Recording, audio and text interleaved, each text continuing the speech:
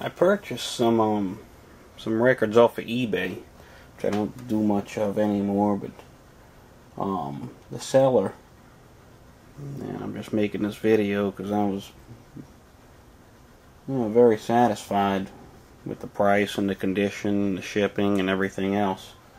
Um, the seller is five decades, the number five underscore decades in lowercase. And they're putting up, he or she, I think it's a she, is auctioning off some records, putting them up a little at a time. And I got some of these. These are kind of uncommon. Columbia Hall of Fame 33 RPM. And we have here the Battle of New Orleans by Johnny Horton. Flip sides north to Alaska. And here's another Johnny Horton, Sink the Bismarck, and when it's springtime in Alaska. Here's another one, Percy Faith, Moulin Rouge, and Summer Place. And these are all in excellent condition too. Really good shape. And what else do we have? Slaughter on 10th Avenue by David Carroll. A Warner Brothers promo. Joanie Sommers. If You Love Him. I think I'm going to cry now. This was thrown in his lagniappe. It's an Irish record. I don't know how to pronounce any of that. But, um, live recording in Knappogue, 1968 on HMV 33.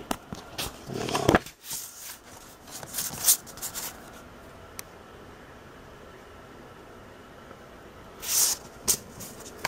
and then I got Conquistador, Procol Harum on Chrysalis.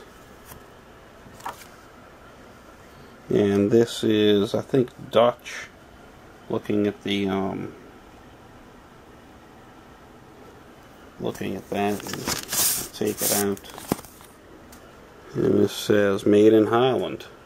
So this is a Dutch copy of Conquistador. That's pretty neat. I didn't even realize it was it was foreign. And I got this. This is Japanese. This is kind of interesting. Philips Records, Victor Company of Japan. This is how it came. I guess they don't do regular picture sleeves.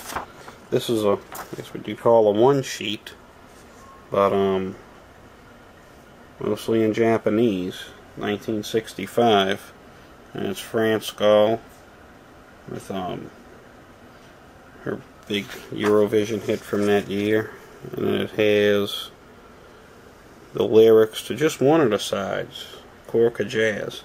Um, and then the translation in Japanese. But it is a regular English style Philips 45. You know, with the thing in the middle you can knock out if you wish. But this is a Japanese copy, and it's in mint condition. And as you can see with the Japanese sleeve, it's solid on one side and it has the the window on the other and of course this is the top but you know it's printed sideways so that's that's interesting I don't think I have any Japanese 45s but I got a few more coming in from her that I bought Sammy Davis Jr. and a Nancy Sinatra record so but other than that, I mean, she has some more records up there. The, the seller is, oh, if it'll focus, five decades. Can recommend her. So it's always good to have a, see a good eBay seller. Uh, I bought some records off of eBay and had them come, you know, and they're all burned out, you know, jukebox copies that are all ground down from a worn needle, and, and these are in pretty darn good shape. So and some little surprises to boot, like a Dutch copy of Conquistador. Pretty neat. Alrighty, guys. See you later.